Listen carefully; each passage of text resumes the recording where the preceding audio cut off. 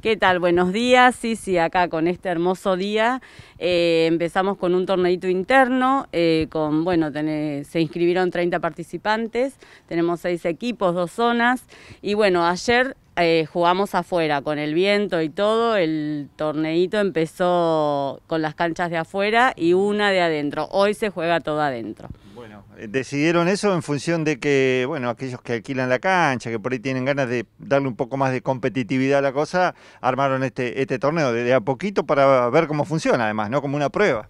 Exacto, es el primer torneo de, durante la pandemia, es interno, sin público por supuesto, respetando el protocolo que tenemos vigente en la institución y bueno, la verdad que todos los jugadores de este torneo y los socios comprometidos con el cumplimiento del mismo, entonces eso facilita a que bueno, que todo vaya como mejor, ¿no? Así que bien, contentos, contentos dentro de esta nueva normalidad es lo que se puede hacer en este momento.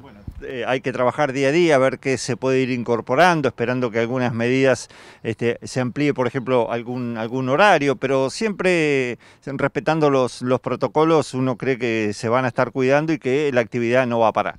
Tal cual, eh, creemos lo mismo y bueno, como vos decís, eh, de acuerdo a las nuevas reglamentaciones es como nos venimos moviendo. La institución, bueno, ha extendido los horarios en función de los horarios que hemos podido utilizar de acuerdo a lo que fueron implementando desde el municipio, así que bueno, contentos y esperando poder extender un poquito más el horario ahora que justamente viene el tiempo lindo, la gente prefiere disfrutar de la playa y venir tarde-noche a alquilarse una cancha y venir a disfrutar del tenis. Bueno, entonces quizá el próximo interno o torneo que se pueda armar nocturno.